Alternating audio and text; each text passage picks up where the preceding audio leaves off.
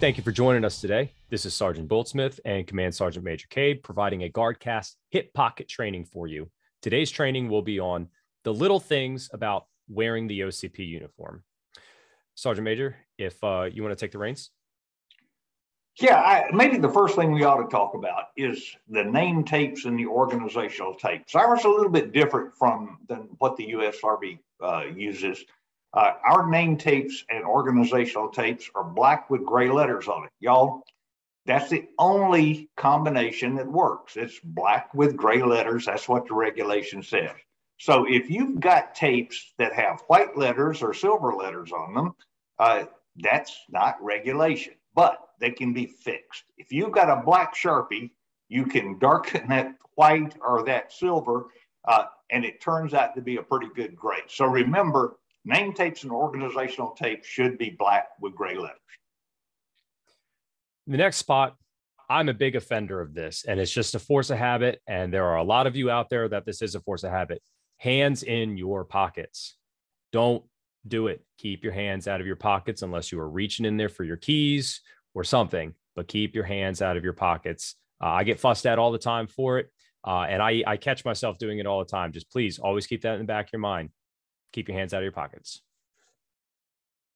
All right, here's another one. I, see this fairly frequently.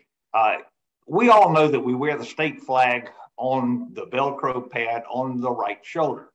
Uh, what happens though is a lot of times people are a little bit hap- haphazard about how they stick that Velcro pad on. Here's the way to do it it should be centered horizontally on that pad, and the very top of the state flag should be absolutely perfectly aligned with the very top of that Velcro pad. Bottom line is you shouldn't have any Velcro showing above the, uh, the top of the flag. It's top of the flag and the top of the Velcro should be perfectly uh, even. Now, this next point, I'm not a, an offender of. However, I've I've seen it happen. Walking while talking on the phone. Don't do it. Okay. Most of us are right handed. You have your phone and you're talking while walking, you're not paying attention. Okay. If you have somebody that is a higher rank from you, that let's say you might have to salute and you are right handed, what are you going to do? Okay. You can't, you're not going to go like this. Or uh, if you're in, engaged in your conversation, okay, and you are walking and somebody walks out, you're not going to potentially notice them and you're going to get yelled at. I've seen it happen. Please don't let it happen to you. There are a couple of other things we need to talk about the uniform itself.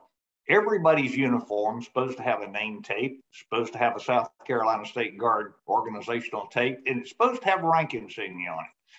Regulation specifies that of those three things, if you sew one of them on, you got to sew all three of them on. Uh, if you Velcro one of them on, you got to Velcro all three of them on.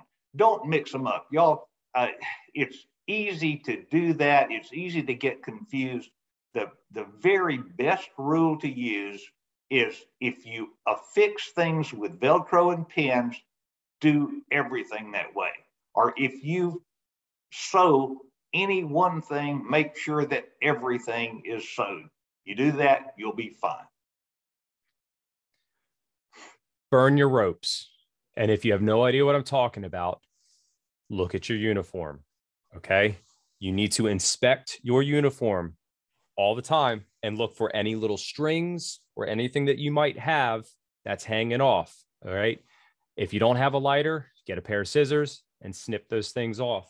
You know, I'm looking around and I'm sure I have one somewhere on me. You know, uh, I inspected this morning before I put it on, but just moving around, things will start to fray. Okay. Check your belt, check your blouse, check your trousers, check everything.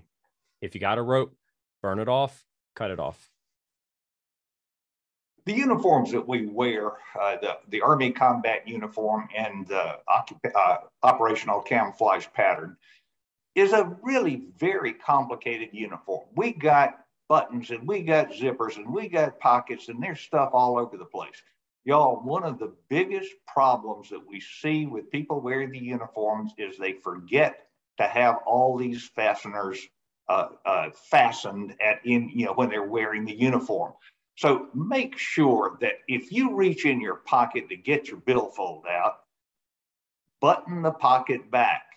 Uh, if you reach into your uh, in, into your uh, breast pocket uh, to get your medical form out, which you should be carrying in your left breast pocket, if you reach in there to get it out, make sure that the Velcro is back. If you go to the latrine, make sure that you button your pants up again.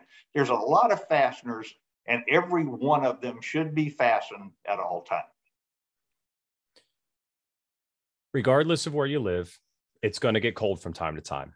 There are fleeces available. If you do have one, you need to make sure that it is zipped up. All right. Now, uh, Sergeant Major Cabe, how far up should it be zipped? Well, I, I don't know that, uh, that that there is a specification on that. Okay. Uh, what I look for is it should be zipped up almost to the uh, to the to the lower point of the collar, where where where the uh, the sides of the uh, uniform shirt come together to form your collar. Right about there is where I, I normally think that it should be zipped. Understood. One so, other thing we need to talk about, uh, let's talk about the boots. And this is one of these things that's sort of a, a pet peeve of mine. Uh, when you lace up your boots, make sure you lace them all the way to the very top. Don't leave that top uh, eyelet open lace them all the way to the top, and tie the boot lace around your leg and tuck all those loose ends into the top. Now, I know what the regulation says. Regulation says you can wrap the laces around the boot. It looks like crap if you do that. You're a whole lot better off if you just wrap the laces around your leg, tuck the laces into the top of your boot so nothing is showing. No loose ends are hanging out when your uh, when your boots are laced and your belt should be cut off so no more than two inches will extend past the buckle. Okay. When you order these things, they are going to come and they are going to be incredibly long. Put it on, cinch it up, measure two inches, cut it. Now you're going to have ropes, burn them or cut them. Keep that thing clean. I would strongly recommend once you cut it, take your lighter, and just burn it a little. That way it will singe it and keep it not, you know, it'll melt the, the polymers and stuff that are in it. And that'll, it'll give you a nice edge. As you wear it, it will start to fray a little bit.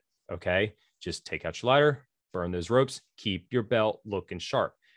I know some of you might be thinking, well, nobody's ever going to see it. What happens if they ask you to deblouse? Okay. If it's a hot day out and then, and you have permission to deblouse, you're, they're going to see it. So always keep yourself squared away. Now, these are just a few of the big ones to highlight.